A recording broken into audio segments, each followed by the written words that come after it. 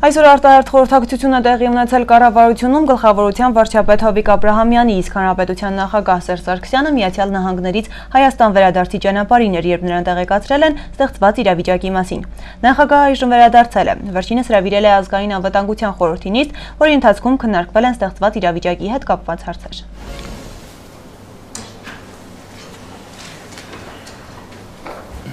Հարգելի գործընկերներ, ինչպես ձեզ հայտնի է, այս գիշեր ժամը 3-ի կողմերը Ադրբեջանի զինված ուժերը սադրիչ գործողություններ են ձեռնարկել Լեռնային Ղարաբաղի հետ շփման գծի ողջ երկանքով։ Սա 94 թվականի զինադադարի հաստատումից հետո ամենախոշորամասշտաբ գործողություններն են, որ փորձեցին իրականացնել եւ հիմա էլ փորձում են Ադրբեջանի զինված ուժերը։ Լեռնային Ղարաբաղի պաշտպանության բանակի ժամանակին եւ արհեստավար գործողությունների շնորհիվ հնարավոր եղավ իրավիճակը վերցնել հսկողության տակ եւ ոչ միայն իրավիճակը վերցնել հսկողության տակ, այլ նաեւ զգալի կորուստներ հասցնել հակառակորդին։ Ընդ որում հակառակորդ այդ ընթացքում օգտագործում էր ռազմական օթուր, հրետանում բոլոր տեսակները եւ բոլոր տիպի զրահամեքենաները։ Կորուստները հակառակորդի ինչպես օթուժի, այնպես էլ հետևակի ու զրահատեխնիկայի զգալի է։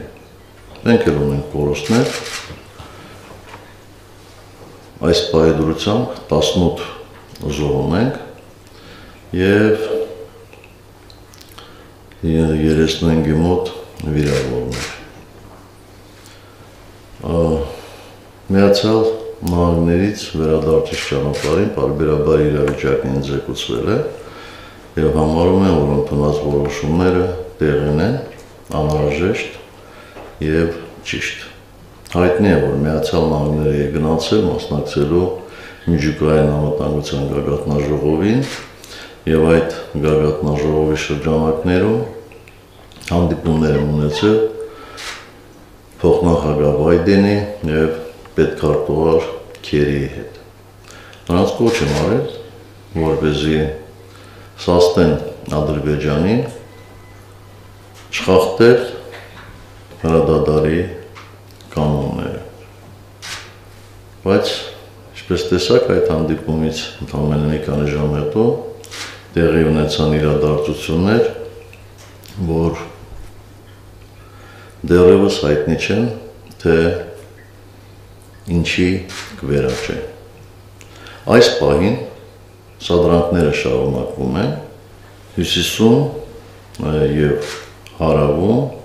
կա որոշակի լարվածություն, բայց ինչպես ասեցի, Լեռնային Ղարաբաղի զինված ուժերը վերահսկում են իրավիճակը։ Հայաստանի Հանրապետության զինված ուժերը գործում են նախապես մշակված պլանի եւ որոշակի նախարարություններ կարծում եմ առանց արժոտաժի, առանց ավելորդ լարվածության պետք է անցնեն ուժեղացված աշխատանքի, ուժեղացված ծառայության, ինչպես նախատեսված է մեր ծրագրերով։ Միջոցներ են ձեռնարկվել սահմանումներ շրջանի բնակչության անվտանգության համար։ Կարծում եմ այդ միջոցները բավարար են։ Բայց ես համոզված եմ եւ առաջարկում եմ քննարկել որ մենք մեկ քայլ առաջ պետք է գնանք եւ արտաքին գործերի նախարարությունը կարծում եմ անհրաժեշտ է համագործակցել Լեռնային Ղարաբաղի արտաքին գործերի նախարարության հետ եւ մշակել Լեռնային Ղարաբաղի հետ ռազմական փոխօգնության պայմանագիր կնքելու ուղղությամբ անհրաժեշտ է պայմանագրի տեքստ ունենալ, համապատասխան քննարկումներ անցկացնել եւ ուղարկել ազգային ժողով։ Հայաստանի Հանրապետությունը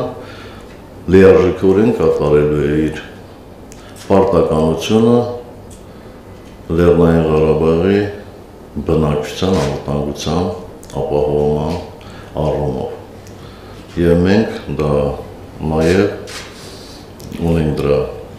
իրավաբանական իրավունքը, որտեղ ինքներս հանդիսանում ենք 94 թվականին կնքված հրադադարի համաձայնագրի կողմ։ Բացի զինված ուժերից իրենց գործը կատարում են մեր մյուս գերատեսչությունները, կապ է հաստատվել միջազգային կառույցների, մեր գործընկերների հետ։